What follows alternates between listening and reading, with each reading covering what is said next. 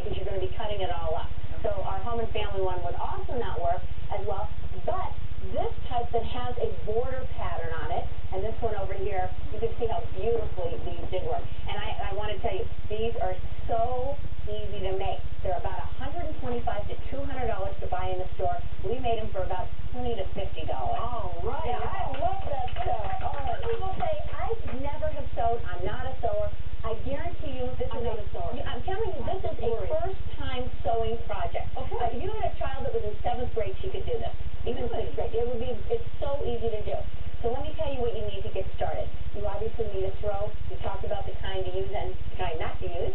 You need scissors.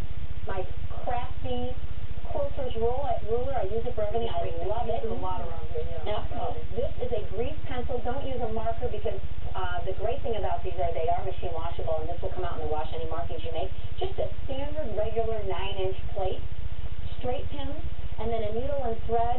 And what I really recommend is an overlock sewing machine. Most sewing machines now do have an overlock mode to it, or you could borrow a friend. Let's go to the uh, VTR and roller tape, and I'll show you how to get started. Okay, you lay your your blanket out, and to do cut the body of the jacket, we measured up 30 inches from the bottom and cut across the blanket. And you can see we put tape there so that we would always have a straight sewing line, and that's just a nice guideline. Then we folded it over in half, and now we're going to, once we get it all straight and smoothed out, we're going to cut the neck. And we measure two inches from the top to the bottom, and we mark with our grease pencil. We lined up the center of the nine-inch plate on the fold line, starting to cut at the two-inch mark, and we make a quarter circle with our grease pencil and cut it. And that's how simple making that neckline is. Okay, we open our blanket now. Let's see the cut. You open up, you see the neckline up at the top in the center. Okay, and we bring the fringes so that they meet in the middle. So we do one side, and then we do the other, and the fringes are now met in the middle. Look, there's the body of the jacket. Uh-huh. And we measure down 10 inches on each side. 10 inches on each side, and this is for your armhole. This is how you do your armhole. And you cut along the fold. You cut along the fold. And now, from this point, we're going to, once you cut all the way down the 10 inches, you're going to do on this side, you then measure up on the same cut line 2 inches. You measure up 2 inches, and this is to create the shoulder. And over at the other end, you're going to see where the curve of the neck was that we just cut out. You're going to take your ruler, and you're going to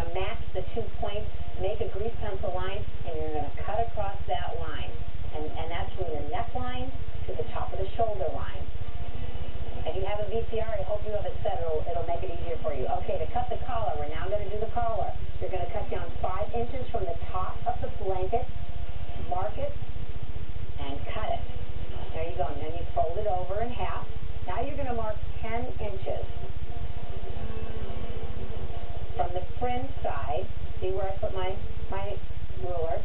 And with a free hand, you're going to do a curved line from that 10 inch spot to the corner. Watch me we do the freehand curved line. It's not that important to be too accurate, so don't bother using instruments. Just a freehand curved line and simply cut. Okay? Now that's your collar. Now for the sleeves, we need a 20 inch piece of your blanket. So I centered it in the diamond. I got rid of the sun. See the suns on the top and the bottom? I cut those off so that I would have just the diamond. And I, it's a 20 inch piece of fabric. And I centered the diamonds. I cut it in half. I put the fringes together, the two pieces of fringes together. Uh, and then on the fold line, you cut again. See the cut on the fold line? Now you have your two sleeves. That's how you do it. Unbelievable. You really, really made that look easy. You know, we have to go to commercial break, but when we come back, we're going to be sewing this. See, I, I This is easy to sew together.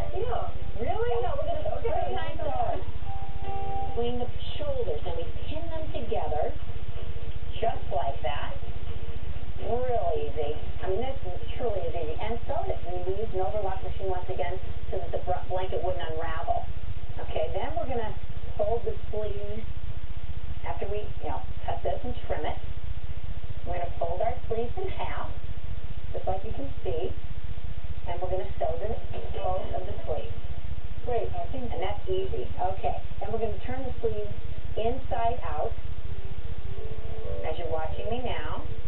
And then with right sides together, we're gonna stick them into the body of the jacket where the holes are. See those, those sleeve holes? You're see them right now. And we're gonna stick them in through the holes and we're gonna pull them through right sides together. And we're gonna sew that up.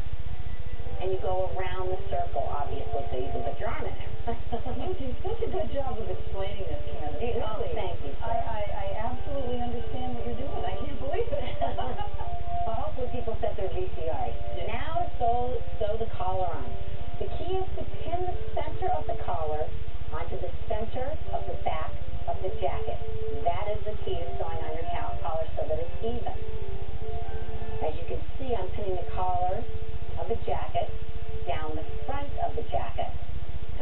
our straight pins. Once again, just as a safety tip when you're sewing, pull your straight pins out before you actually get to them because they will break and, and there can be some hazards there. So there you go. We got it all sewed up. And now we're doing the front. And you're going to see on the right when we're pinning down the front shawl part of the collar that there's extra fringe on the right. We're simply going to cut that off. It's not there by mistake, so don't want you to think when you're doing yours that, that you didn't cut it right to begin with. It will be there, and you're going to just trim it right off. Too much fringe can be a, a problem. Yeah. This is a truly easy project that we did do one little sewing seam, and my tip is to press your collar down, and it'll lay flat just like the one I have on. And it is a wonderful project. It would be a great, inexpensive gift to make, and there you go.